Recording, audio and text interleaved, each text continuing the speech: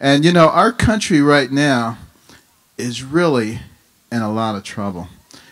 And you know, last Thursday at the debate, if you can call it that, uh, I, I got to tell you, it, it just reminded me so much of ancient Rome and the Colosseum.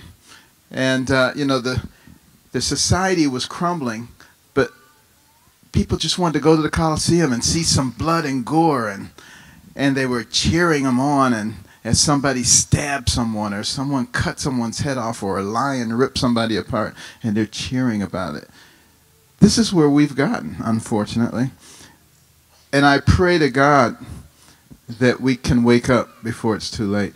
And I actually see signs of it all over the country, every place we go. I I actually believe people are waking up and recognizing what's going on.